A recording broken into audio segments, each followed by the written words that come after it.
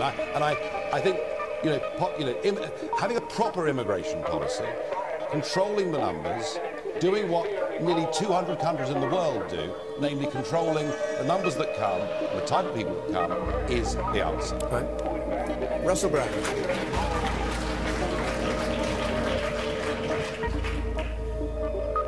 I sometimes feel worried about you, Nigel Farage. Uh, but the, the reason I feel worried is because I, I know a lot of people are frightened in our country. I know a lot of people are feeling afraid and frustrated.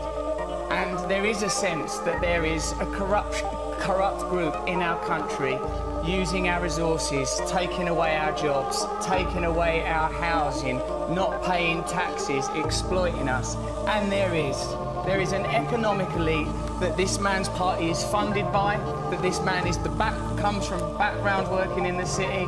Let me tell you something. There was an economic crash and a lot of money was lost. His mates in the city farted. Nigel Farage is pointing at immigrants and the disabled and holding his nose. Immigrants are not causing the economic problems and suffering.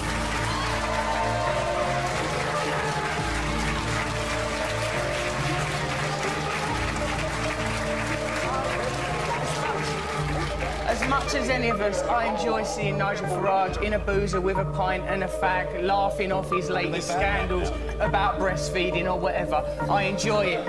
But this man is not a cartoon character. He ain't Del Boy. He ain't Arthur Daley. He is a pound shop Enoch Powell, and we gotta watch him.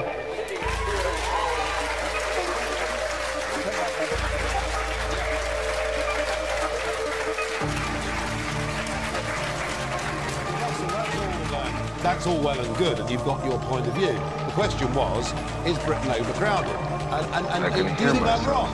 I mean, do, I mean, do you, do Yes, you not think? Nigel, can I not be do you more not clear, think? mate? I do think you you're not wrong. think? Do you not from the think? country. Well, this is called question time. This program, right? And Well, tonight you could have what- another And what happens is, members of the audience ask questions, and we're expected to answer them. You haven't answered this lady's question.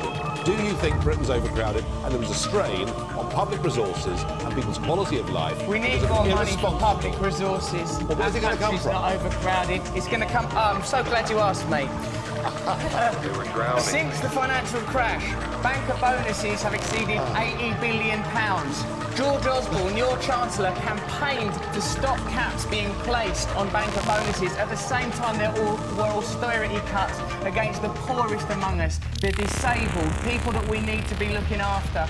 We need to close tax loopholes which are exploited by big corporations. There's money. I've got money now. I've seen rich people. There's plenty of money out there. It's just not being distributed.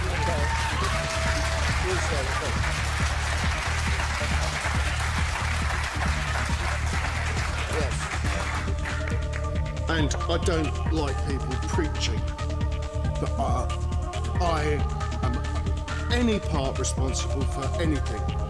I've never heard him criticise the disabled. Never have. Okay, never. Okay, and you are a campaigner. Yeah, I'm going to go back to the last question. Please let me finish. Mate. Stand. Stand for Parliament. If you're going to campaign, then stand.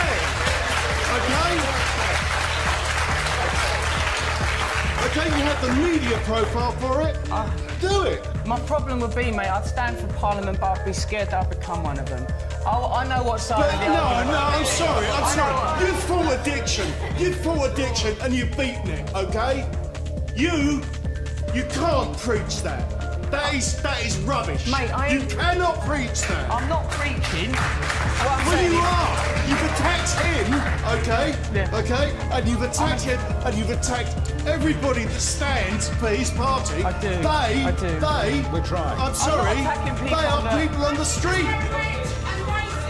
Oh, are they? Are they? Rubbish. Rubbish. I'm sorry, but at the end of the day, it's the general public that are standing for him. scumbag trying to blame immigrants for the cutbacks because of his rich banker friends. Russell, you've got some voters here, mate. You ought to stand. I mean, right. these are your voters. They're, I know they're lovely people, I'm aren't they? You, they're lovely people. Bloody worry. I just hear from a voice up here you saw on the gangway. Yeah. The, point I want to make to Russell is that you, you say you claim to sort of stand up for the working classes, but you've got to understand that it's the working classes that have been hit the hardest by immigration, mass immigration. You know, wage compression, the, ch the, the, the change in communities over, over a short uh, period of time has led to, you know, um, tension within communities. You've got to appreciate that actually, you know, it's all right to say, you know, criticising UKIP and Nigel Farage, but actually it's the people at the bottom of society that have been hit the hardest by immigration. I'm telling you, mate, honestly, I come from the same community as you come from. I've been very lucky and I've had a few breaks and I've got a few quid now. And I'm telling you that immigra immigration has always been happening. What happened in 2008 was very unique. If I it's thought, the scale, if it's I- scale. My friend, I swear to you, if I thought, listen, try this for two years, turn your focus to corruption in the city, turn your focus to apathetic politicians, turn yourself to the corruptions going on there, and if in two years' time your life ain't got better, campaigning against the people that have wealth and power, not those that have very little, if it's still the same, I'll come with you and campaign. But I'm telling you, I know where the power is, I know where the money is, I know what we've got to do. We've said we got some things wrong on immigration.